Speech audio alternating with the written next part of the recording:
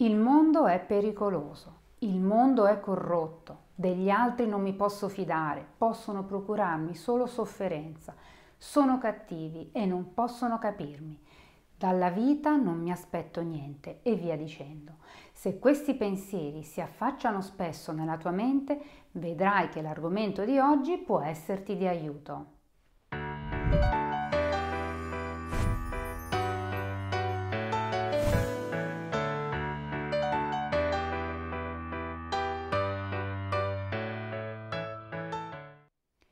Ciao, sono Patrizia Pietropaolo, psicologo, psicoterapeuta e life coach. Oggi ti parlerò di come questi ed altri pensieri non siano corretti, anche se la tua identità si struttura su queste idee.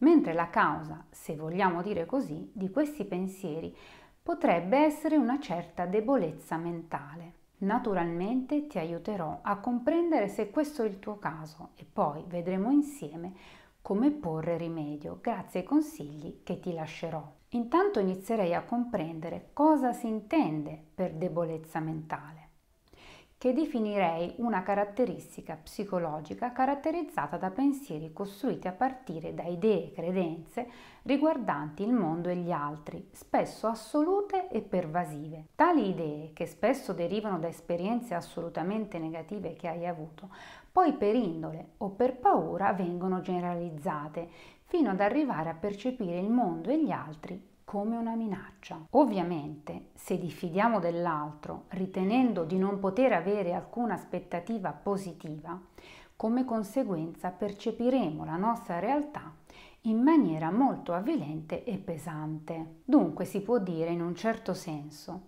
che una persona debole mentalmente può non avere, suo malgrado, la possibilità di ottenere il meglio dalla propria vita e dalla realtà che lo circonda, a causa delle sue aspettative costantemente negative. Come dire in altre parole che sebbene assetata questa persona è talmente convinta di non trovare l'acqua nel deserto che non si metterà nemmeno a cercarla in un'oasi, confermando così le sue idee iniziali di essere destinata a soffrire la sete. Se hai questi pensieri o idee, purtroppo, che sono sì caratterizzati da scarso o nulla fiducia in generale, sappi che soprattutto questi pensieri dipendono da scarso o nulla fiducia in te stesso e nelle tue capacità.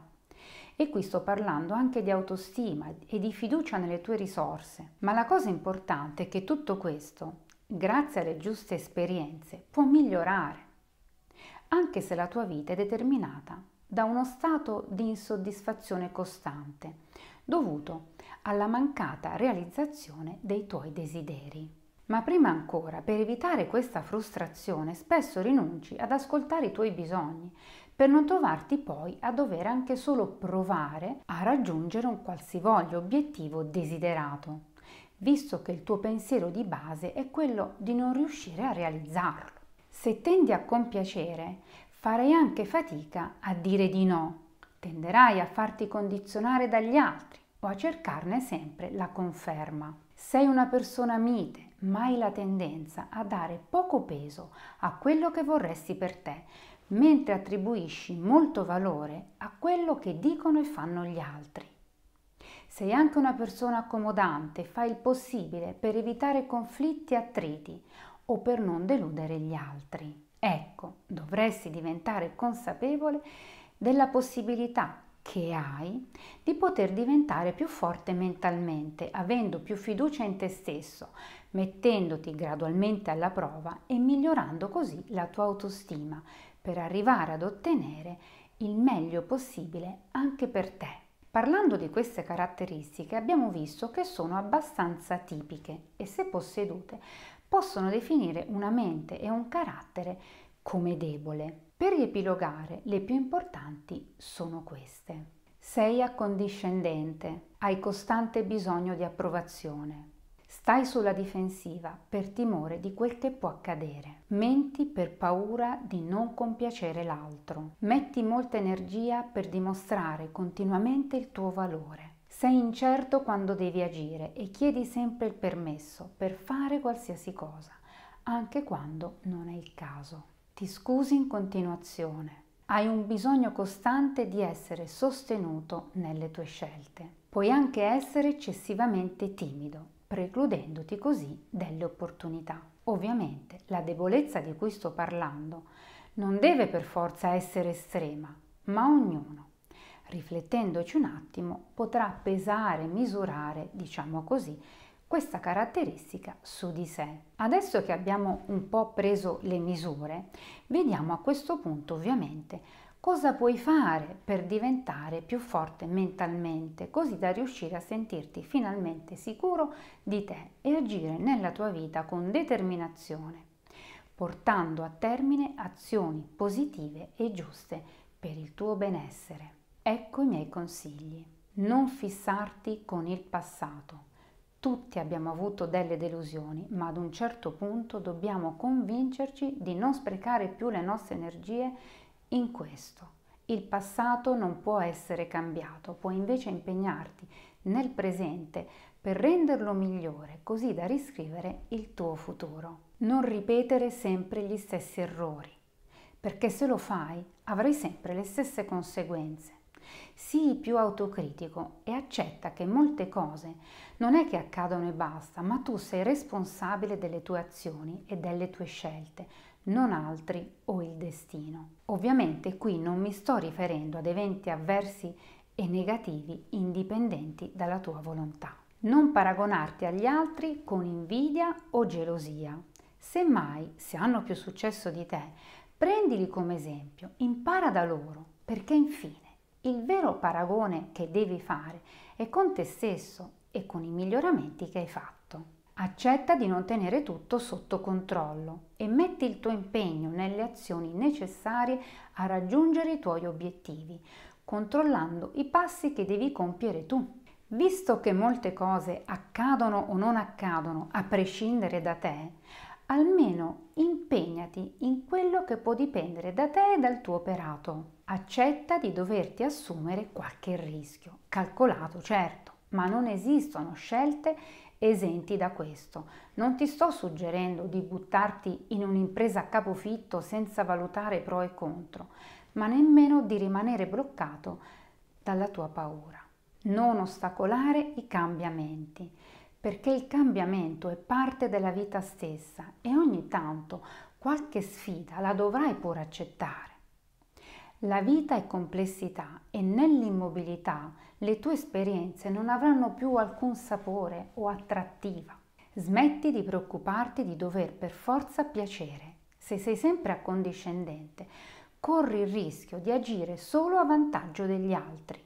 Impara a dire no quando è necessario e con educazione, perché solo così, quando è il caso, potrai affermare te stesso e i tuoi bisogni.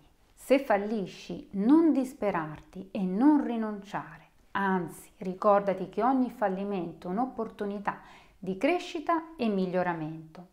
Se ne approfitti però per apprendere cosa è sbagliato e perché. Smetti di lamentarti e dispiacerti per quello che non hai o avresti voluto. Sei qui, sei ancora in gioco, piuttosto cerca di fare il possibile per ottenere il possibile. Lamentarti non cambierà la tua situazione. Le tue azioni, le tue scelte e i tuoi comportamenti sì. Una persona mentalmente forte è una persona equilibrata e sicura di sé e credimi, non è così dalla nascita, ci è diventata. Quindi non rammaricarti se ancora non lo sei, accetta le tue debolezze perché solo accettandole potrai migliorarti. Come sempre, averne consapevolezza è un ottimo punto di partenza, perché se vuoi diventare mentalmente più forte, ora sai cosa devi fare. Così potrai superare meglio gli ostacoli che troverai lungo il tuo cammino, riuscendo a resistere, adattandoti anche alle situazioni più difficili che non potrai cambiare, se e quando sarà necessario. È vero, a volte serve anche un po' di fortuna, mi dirai. Eh sì, ma ti sembrerà strano, la forza mentale puoi svilupparla proprio superando ostacoli con tenacia, senza arrenderti, un po' come andando in palestra. Più sollevi i pesi e più diventi forte. Sappi però che conta molto il tuo approccio. Vorrei allora che tu iniziassi qualsiasi nuova esperienza sapendo, sentendo che ce la farai. È questo il segreto di chi è mentalmente forte, la fiducia in se stesso, che puoi costruire anche tu grazie alle tue esperienze, ma devi arrivare a crederci veramente, provando e riprovando perché nella vita una buona forza mentale è di fondamentale importanza. È come vedere il bicchiere sempre mezzo pieno. Credimi, fa la differenza.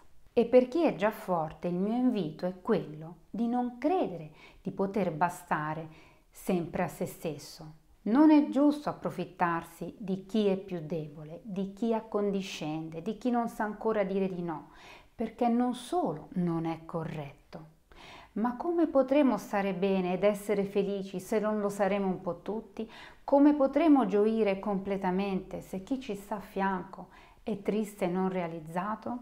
Dopo questa mia riflessione finale ti esorto a mettere in pratica tutti i miei consigli e se questo video ti è stato d'aiuto iscriviti al mio canale e lasciami un commento se vuoi condividere la tua esperienza con tutti noi. A te che hai deciso di impegnarti per diventare più forte mentalmente, a te che vuoi arrivare finalmente a fidarti di te stesso e delle tue capacità per arrivare a sentire, pensare, agire al massimo delle tue possibilità, auguro di uscire da questa sorta di prigione, quella dell'insicurezza in cui ti ha rinchiuso la tua mente. Hai la tua vita da conquistare Supera le tue paure, anzi superiamole insieme e vai fiducioso verso i cambiamenti positivi che ti attendono. Ciao, a presto, un abbraccio.